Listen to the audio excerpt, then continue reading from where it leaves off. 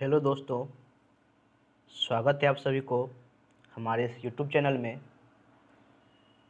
आज हम एक रेलवे ग्रुप डी एस्पायरेंट के लिए मैंने एक मैथ्स का सीरीज़ स्टार्ट किया है। इस सीरीज़ के अंतर्गत आपको रेलवे ग्रुप डी के प्रीवियस ईयर जितने भी क्वेश्चंस पूछे गए थे, उस सभी का सॉल्यूशन मैं इस चैनल पर पार्ट वाइज पार्ट ले करके आऊँगा। तो ये हमारा पहला पार्ट है। आगे के पार्ट बहुत जल्द ही इस पर अपडेट किया जाएगा। तो इस चैनल को आप लाइक करें सब्सक्राइब कर लें। तो चलिए आज जो हमने सेट लाया है, वह सेट है। देख सकते हैं यहाँ पर डेट लिखा हुआ है सात नौ दो हज़ार अट्ठारह जो लास्ट शिफ्ट होता है फोर से साढ़े फाइव पी वाले, उसमें है। ठीक है? तो उस सेट से हमने क्वेश्चंस लिए हैं। उसी क्वेश्चंस को हम सॉल्व करेंगे और इसमें जानेंगे कि कैसे कम समय में क्वेश्चन को सॉल्व किया जाता है। तो चलिए फ़र्स्ट क्वेश्चन की तरफ़ हम लोग चलते हैं। देखिए फ़र्स्ट क्वेश्चन है एक्स और वाई की वर्तमान आयु का अनुपात तीन अनुपात चार है।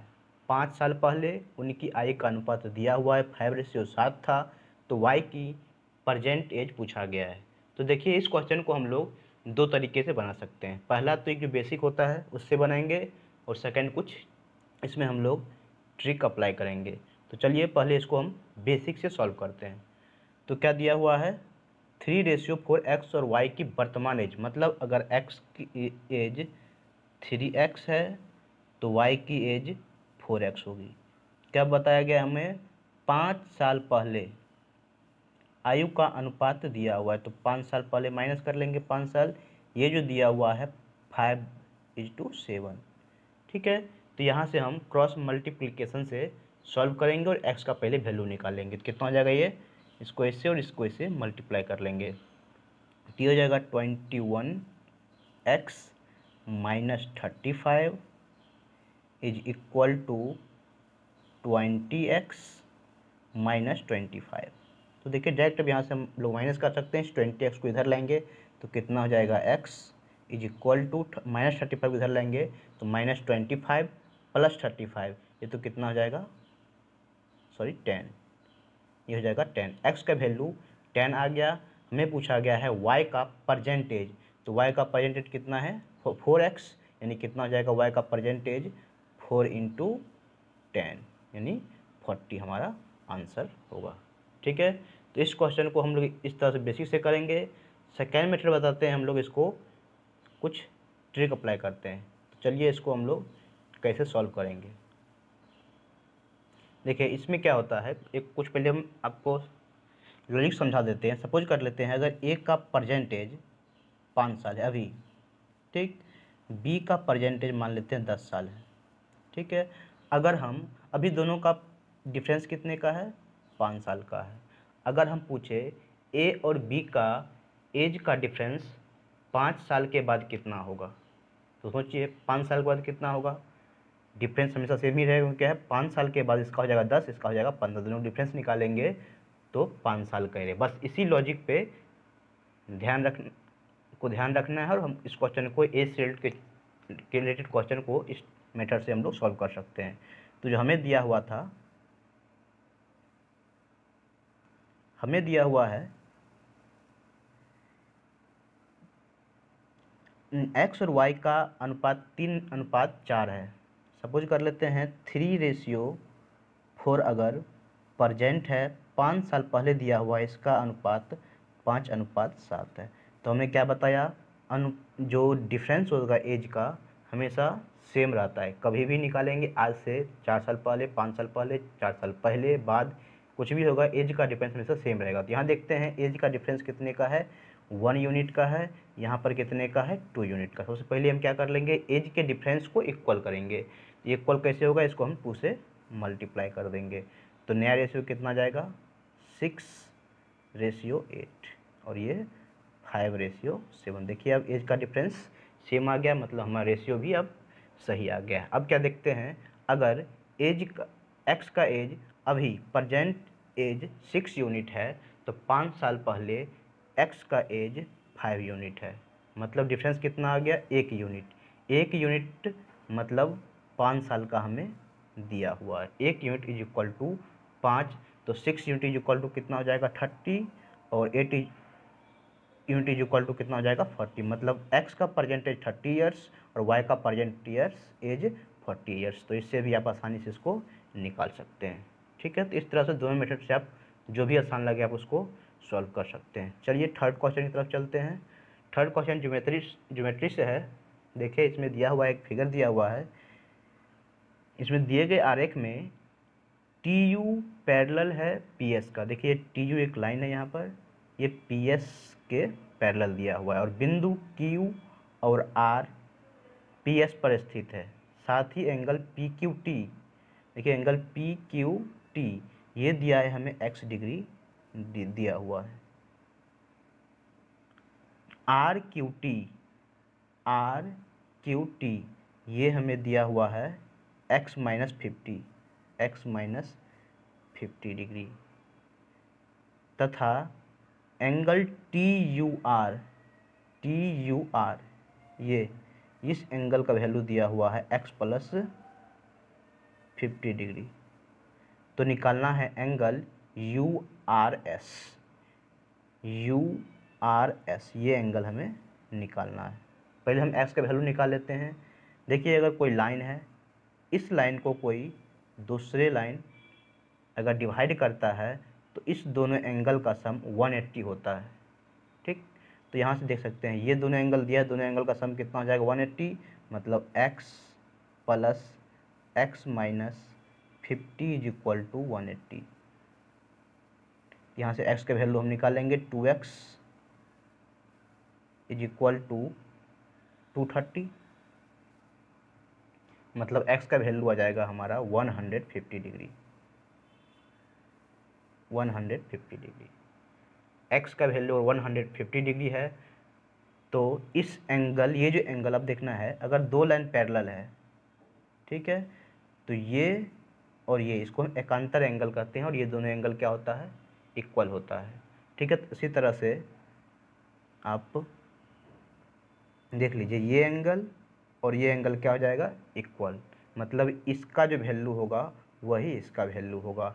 एक्स का वैल्यू हमें वन हंड्रेड फिफ्टीन आ चुका है, यहाँ पर पुट कर लेंगे तो ये हो जाएगा हमारा one hundred fifteen plus twenty five ये हो जाएगा कितना? वन हंड्रेड फोर्टी डिग्री तो यहाँ से हमारा आ गया answer one hundred forty degree तो चलिए नेक्स्ट क्वेश्चन की तरफ़ चलते हैं।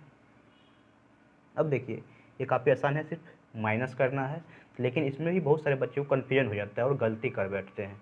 तो देखिए, इसमें गलती नहीं करना है, आपको आसानी से हम सॉल्व करना सिखाते हैं इसमें। इसमें क्या है?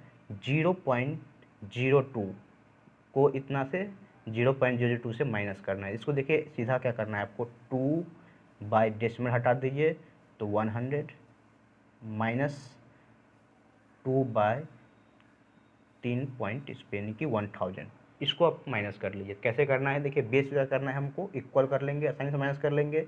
मतलब यहाँ पर अगर एक ज़ीरो यहाँ दे देते हैं, एक ज़ीरो यहाँ दे देंगे। बेस माइनस हो गया मतलब ट्वेंटी माइनस टू एट्टीन हो जाएगा। Eighteen by one thousand simple है। तो कितना हो जाएगा? वन टू थ्री डिजिट के बाद डेसिमल देना है। थ्री डिजिट का डेसिमल दे देंगे ज़ीरो पॉइंट ज़ीरो वन ठीक है? तो ये आपका आंसर हो जाएगा। चलिए नेक्स्ट क्वेश्चन की तरफ़ चलते हैं। नेक्स्ट क्वेश्चन है एच सी एफ़ यानी कि मौसौ निकालना है। पहले क्या पूछा गया है? छत्तीस और एक सौ चौवालीस के मौसौ के आधे का मान क्या होगा? पहले इसका मौसम निकालते हैं, कैसे निकालते हैं हम लोग? छत्तीस का मौसौ और एक सौ चौवालीस का मौसौ तो मौसम निकालने के बहुत सारे तरीके हैं। आपको जो हम बताते हैं मल्टीप्लिकेशन मेथड से। देखिए, छत्तीस दोनों में ढूंढना होता है हम लोग कॉमन फैक्टर क्या है? तो छत्तीस इंटू वन इसको लिख लेते हैं और इसका कॉमन फैक्टर क्या होगा? छत्तीस इंटू फोर सीधे दोनों में कॉमन फैक्टर क्या हो जाएगा? छत्तीस। यानी मौसम हमारा छत्तीस हो जाएगा। छत्तीस का आधा करना है। पूछा गया क्वेश्चन आधा निकालना है इसका तो अठारह हमारा आंसर हो जाएगा। ठीक है? अगला क्वेश्चन देखते हैं। प्रॉफिट लॉस से है। किसी वस्तु पर बारह प्रतिशत लाभ को जोड़ने पर विक्रय मूल्य छः सौ सोलह था। यदि उस वस्तु को चार सौ बासठ में बेच दिए जाए तो हानि प्रतिशत निकालना है। तो पहले तो हम निकाल लेते हैं, इसका क्रय मूल्य कितना होगा? मतलब सीपी निकाल लेते हैं। कोई मान लेते सी पी अगर एक्स है, इस पे बारह प्रतिशत लाभ पर बेचते हैं। तो ये हो जाएगा एक सौ बारह बाई हंड्रेड ये हो जाएगा हमारा एस पी एस पी दिया हुआ है हमें छः सौ सोलह। तो यहाँ से हम सी पी निकाल सकते हैं। ये कितना जाएगा? Twenty eight. और ये जाएगा ट्वेंटी फाइव। एक्स का वैल्यू हो जाएगा आपका six hundred sixty into twenty five by twenty eight. इसको डिवाइड कर लीजिए। ट्वेंटी एट से डेट काट लीजिए। टू जा फिफ्टी सिक्स। टू, यानी ट्वेंटी टू। एक्स का वैल्यू यानी सी पी आपका आ जाएगा twenty two into twenty five. इसको कैसे मल्टीप्लाई कीजिएगा? ट्वेंटी टू को इसको दे दिए फिफ्टी इंटू एलेवन डायरेक्ट लिख सकते हैं इसको फाइव हंड्रेड फिफ्टी तो आपको स्मार्टली मल्टीप्लाई भी करना है जिससे कि आपको टाइम बच जाए। अगर आप, आपको सी पी आ गया है तो निकालना है हानि प्रतिशत। एस पी अब दिया हुआ है चार सौ बासठ रुपया में। अगर इसको हम बेचते हैं तो हानि प्रतिशत निकालना है। देखिए आप पाँच सौ पचास में से चार सौ बासठ को माइनस करेंगे तो यहाँ से हानि निकल जाएगा, फिर उसके बाद हम हानि प्रतिशत निकाल लेंगे। देखिए इसको माइनस कैसे करेंगे? आप ऐसे नहीं करें कि इसको दस में से दो हटाएँगे, आठ आएगा ऐसे नहीं लिखना है। डायरेक्ट आप देखिए, फोर हंड्रेड सिक्सटी टू, इसको फाइव हंड्रेड पॉइंट, कितना हो जाएगा? Thirty eight.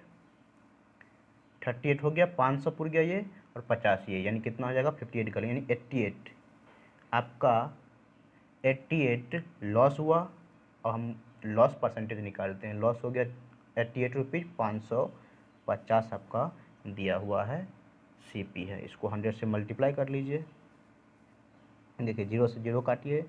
एलेवन एट जा एलेवन फाइव जा टू जा। यानी कितना जाएगा आपको? सिक्सटीन परसेंट आपका आंसर आपको दिया हुआ है सिक्सटीन परसेंट ठीक है? चलिए अगला क्वेश्चन देखते हैं। वह कौन सी भिन्न भिन्न है? जिसे एक बट्टे दो में से घटाने पर शेष तीन बट्टे चार होता है। देखिए, सीधा क्वेश्चन है। एक भिन्न है जिसको हम लोग मान लेते हैं एक्स है। ठीक है? एक्स को एक बट्टे दो में से घटाना है। वन बट्टे दो को एक्स घटाते हैं तो शेषफल निकलता है हमारे तीन बट्टे चार। तो एक्स का वैल्यू कितना हो जाएगा? एक्स एक्स उधर ले जाएँगे थ्री बाई फोर को इधर लाएँगे तो कितना हो जाएगा? वन बट्टे two minus three by four देखिए आप क्या करेंगे, इसको सॉल्व कर लीजिए माइनस कर लीजिए। तो माइनस करने का भी तरीका होता है। आप इसको बिना कुछ किए हुए देखिए बेस को क्या करना हमको सेम कर देते हैं, दो से मल्टीप्लाई दो से मल्टीप्लाई एक बट्टे चार दोनों का बेस सेम हो गया तो दो माइनस तीन। कितना जाएगा? माइनस एक बट्टे चार। ठीक है, तब इसको आंसर ये हो जाएगा। चलिए अगला क्वेश्चन सॉल्व करते हैं। अगला क्वेश्चन है ट्रिगोनोमेट्री से।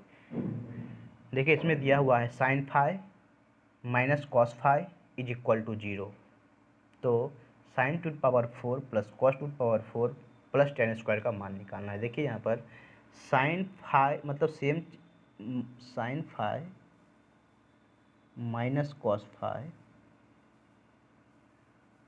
is equal to zero दिया है। इसका मतलब देखिए सेम चीज़ में से सेम चीज़ को घटाया जा रहा है।